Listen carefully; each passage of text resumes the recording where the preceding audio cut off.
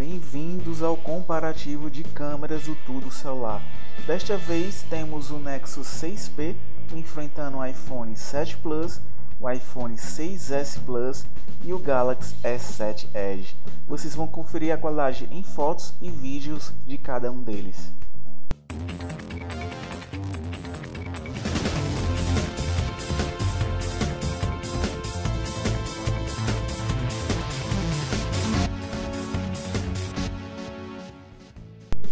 Começamos o nosso comparativo pelo Nexus 6P, que oferece uma câmera principal de 12 megapixels com abertura f2.0 que consegue gravar vídeos na resolução 4K a 30 quadros por segundo. E na parte frontal temos uma câmera secundária de 8 megapixels com abertura f2.4 que grava em Full HD a 30 quadros por segundo. Termos de software, o Nexus 6P vem com a câmera padrão da Google, inclusive está disponível na Play Store, onde você pode alternar entre a câmera e filmador através de gestos. Tem esse menu lateral, onde você tem acesso à câmera lenta, panorâmica e também as configurações da câmera como resolução e ativar ou não o estabilizador de imagens. Aqui no topo você tem algumas configurações como o timer, o HDR, tamanho de grade, tem quatro opções para você escolher, temperatura do branco e também o acesso ao flash. Aqui no canto direito você pode aumentar ou reduzir a entrada de luz no sensor, que vai gerar imagens mais claras ou mais escuras. O iPhone 7 Plus é o único do nosso comparativo que conta com câmera dupla.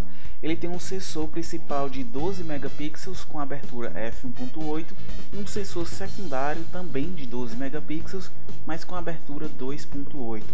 Além disso, a câmera é capaz de gravar em 4K a 30 quadros por segundo. E na parte frontal nós temos um sensor de 7 megapixels com abertura f2.2 que grava em Full HD a 30 quadros por segundo.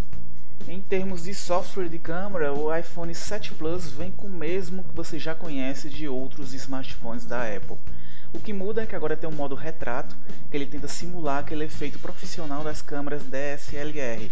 O que ele faz é borrar o fundo da imagem e dar um aspecto mais profissional. Claro que para isso você tem que tirar de um objeto mais distante e que o fundo também tem que estar distante da pessoa que você vai fotografar. Aqui no nosso teste, quando o objeto está muito próximo, o efeito do borrão no fundo não fica tão evidente. E entre os outros modos nós temos o quadrado, que tira fotos no formato quadrado, que é bom para o Instagram. Tem também o panorâmica, formato vídeo, câmera lenta que grava em Full HD a 120 quadros por segundo e também o time lapse, que acelera vídeos. Do lado esquerdo você tem filtros para aplicar, tem um timer com três opções aí de 3 segundos e 10 tem o Live que faz umas animações em formato GIF. Tem também o HDR no modo automático ligado ou desligado e também ativar ou desativar o flash. O iPhone 6S Plus traz também uma câmera de 12 megapixels, mas com apenas um sensor e abertura f2.2. Ele também grava em 4K a 30 quadros por segundo. Na câmera frontal nós temos um sensor de 5 megapixels também com abertura f2.2 que grava vídeos em Full HD a 30 quadros por segundo. Em termos de software de câmera, o iPhone 6S Plus vem com basicamente o mesmo aplicativo mostrado do iPhone 7 Plus. O que muda é que não há o modo retrato, que gera aquele efeito mais profissional nas suas fotos, mas o menu lateral com todos os filtros e também as funcionalidades também estão presentes aqui no iPhone 6S Plus com iOS 10.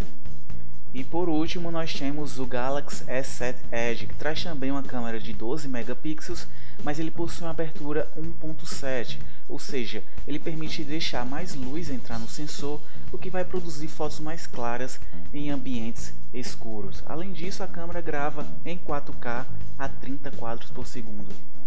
E na parte frontal nós temos uma câmera de 5 megapixels também com abertura 1.7 que consegue gravar vídeos em Quad HD a 30 quadros por segundo. Em termos de software, o Galaxy S7 Edge recebeu novidades com Android no lugar. Agora ele vem com a câmera que foi estreada no Galaxy Note 7 e como vocês podem ver tem um novo menu lateral onde você acessa Flash e configurações rápidas como HDR e você também pode acessar filtros e configurações especiais quando você desliza da esquerda e você pode também acessar outras opções ou baixar é, novos recursos direto da loja da Samsung. Como o Android Nougat ainda está em estágio beta aqui, Samsung não está liberando acesso nos seus servidores, mas na versão final isso aqui vai ser arrumado. Do lado direito você acessa os filtros que são pré-aplicados antes mesmo de você salvar uma foto e quando você desliza de cima para baixo ele alterna para a câmera frontal do aparelho.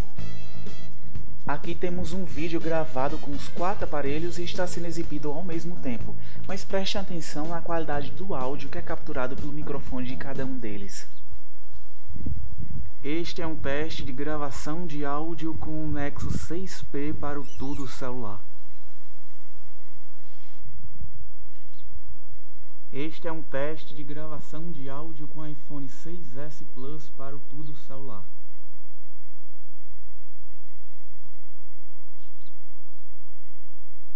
Esse é um teste de gravação de áudio com iPhone 7 Plus para o tudo celular.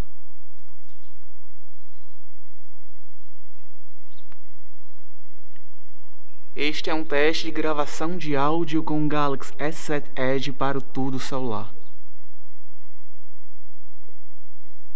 Como deu para perceber, o Galaxy S7 Edge é o único que grava som em estéreo, que produz um som bem mais alto e nítido do que os outros três smartphones.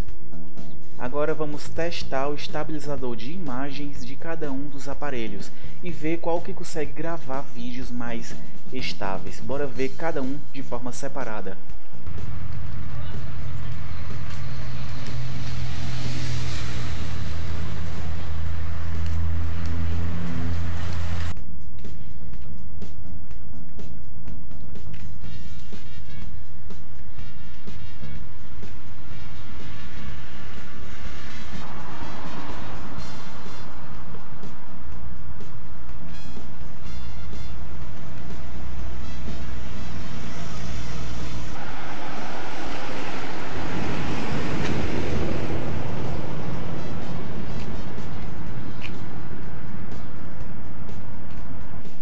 iPhone 6S Plus é o que demonstra ter o vídeo mais suave, enquanto o Nexus 6P foi o que apresentou uma trepidação maior do que os outros três.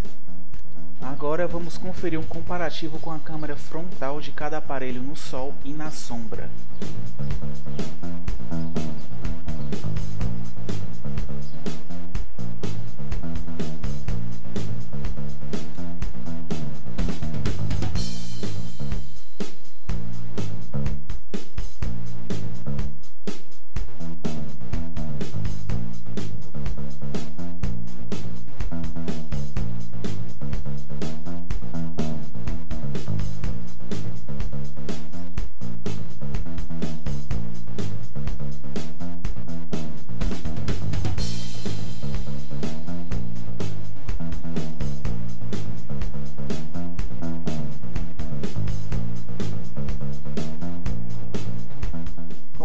Perceber, o S7 Edge ele gera uma imagem mais artificial do que os outros.